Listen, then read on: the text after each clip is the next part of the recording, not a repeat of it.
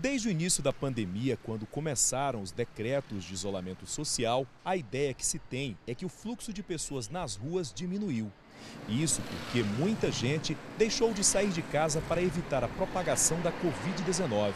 Com o movimento menor nas ruas, também deveriam diminuir os acidentes de trânsito, mas isso não aconteceu. Nós não percebemos nenhuma diminuição no número dos acidentes. Inclusive, nós percebemos um aumento nos casos de vítimas fatais.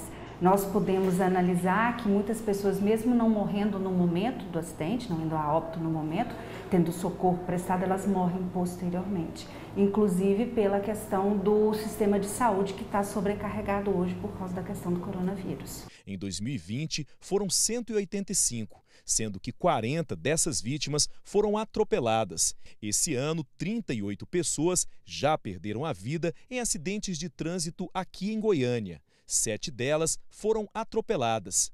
Dados da Enel reforçam esses números. De acordo com a empresa, o número de postes danificados por causa de acidentes cresceu 28,7% durante a pandemia. Em 2019, foram 2.178 postes quebrados em acidentes envolvendo carros.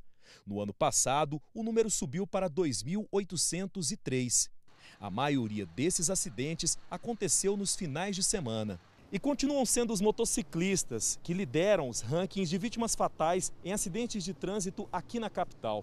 Somente nesses primeiros três meses de 2021, 19 motociclistas perderam a vida em acidentes aqui em Goiânia. Há bastante tempo nós temos visto que os motociclistas são as principais vítimas dos acidentes fatais no trânsito, é, por faixa de 70% e esse número ele veio crescendo.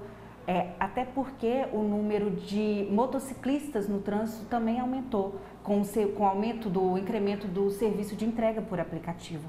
Então, até no trânsito, quando você está andando, você vê que são muito mais motociclistas ali. No dia 6 de janeiro desse ano, Jéssica estava numa moto quando foi atingida por um carro forte em Campinas. Ela fraturou a bacia, a costela, teve politraumatismo no rosto e traumatismo craniano. Jéssica também teve o pulmão perfurado. A confeiteira sofreu uma parada cardíaca e quase morreu. Depois de vários dias em uma UTI, ela hoje se recupera em casa. Foram mais de 20 dias de UTI e mais de uma semana de hospital. A equipe tentando com que eu ficasse bem.